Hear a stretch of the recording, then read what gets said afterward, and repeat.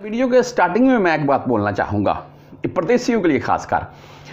देखें मैं आपको बता देता हूँ आगे वालदेन को देखना कितना बड़ा स्वाब है। लेकिन अगर आप प्रदेश में बैठकर, मजबूरी है ना, एक बंदा प्रदेश में बैठा हुआ है छः माह, एक साल के बाद, दो साल के बाद छुट्टी जा सकता उस उससे पहले नहीं जा सकता।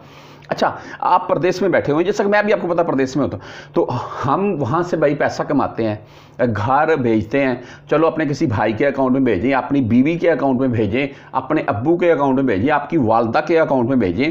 तो भाई, आप जो पैसे भेज रहे हैं, उनमें से आप अपनी वालदा और अबू अम्मी और अबू को भी देते होंगे ना। यानी कि उनकी खिदमत कर रहे हैं। अम्मी, आप ये आप ये कपड़े ले लें, आप ये जूती ले लें, ये मौसम ठंडा आ गया इस चीज़ की, आपने शादी पर जाना है ये ले आप पैसे देते हैं ना, खिदमत तो करते हैं ना। तो बहरहाल, परदेशियों के लिए भी एक ख़ास वीडियो है, देखिए। अस्सलाम वालेकुम दुनिया में दो ही चीज़ें हैं जी। मैं आपको ये पिक्चर दिखा रहा हूँ, मैं इस बुज़ुर्ग शहरी की बुज़ुर्ग सऊदी की बोल रहे हैं आप, बद्दू है जी। शहरी तो नहीं बोल सकते। आपको वीडियो क्लिप इनका साथ में दिखा देता हूँ मैं। मेरे हिसाब से एक बेहतरीन किस्म की वीडियो है। यकीन मानिए, शॉर्ट सी वीडियो में बात ख़त्म करते हैं जी। दुनिया में दो ही चीज़ें हैं मेरे हिसाब से। बाकी शायद आपको इसके मतलब मज़ीद इल्म हो तो मुझे कमेंट में ज़रूर बताइएगा कि जिनको देखने से सवाब मिलता है। यानी कि इंसान के नामा अमाल में नेकियाँ लिखी जाती हैं। नंबर एक, खाना काबा अल्लाह ताला का घर, आप तवाफ़ करते हुए उसकी ज़्यारत करते रहें। आप वहाँ बैठ कर काबा शरीफ की ज़्यारत करते रहें। आप भाई नमाज़ काबा के सामने पढ़ रहे हैं और काबा शरीफ की ज़्यारत कर रहे हैं। तो आपके नामा माल में काबा शरीफ को देखने की, सिर्फ़ आप देख रहे हैं तो आपके नामा माल में उसकी निकियाँ लिखी जा रही हैं। ठीक है, नंबर दो, आपके बूढ़े वालदेन। उनमें आपकी माँ भी हो सकती है, आपके वालद भी हो सकते हैं। ठीक है जी? तो उनको भी प्यार की नज़र से देखना। तो सवाब है जी, इंसान के नाम माल में निकियाँ लिखी थी लिखी जाती हैं। ठीक है जी? तो बहरहाल जी, ये बात इसलिए कर रहा था, इस बुज़ुर्ग की तरफ़ से ही, जिसका वीडियो क्लिप आपको दिखा रहा हूँ मैं।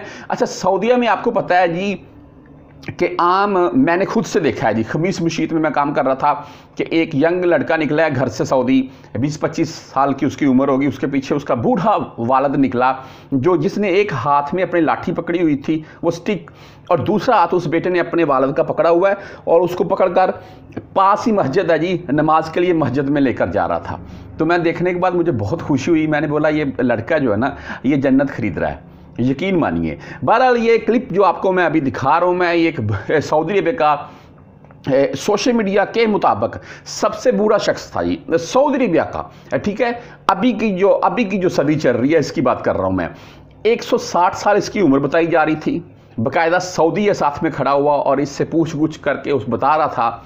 और ये आप अगर आप में से जिन भाई, जो भाई जजान वाली, नजरान वाली साइड पर रहते हैं ना, वहाँ पर सऊदियों के ऐसे ही उड़िए हैं। यकीन मानिए।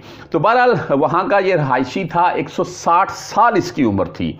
और कुछ देर पहले, यानी आप बोले चंद माह पहले इनकी ये वीडियो आई थी, उसके बाद आज इनकी वीडियो दोबारा से ये इसलिए सोशल मीडिया के ऊपर वायरल हो रही है कि इनकी वफात हो चुकी है। यानी कि ये जो सऊदिया के बुज़ुर्ग शहरी थे, बद्दू बोल रहे हैं आप जिनकी उम्र 160 साल थी, इनकी वफात हो चुकी है। अल्लाह ताला की ज़ात इनको जन्नत में जगह अता फरमाए और तमाम मेरे वो परदेसी भाई, जो परदेश में बैठे हुए हैं, यार आपको भी वालदेन की खिदमत करने की तफीक दे।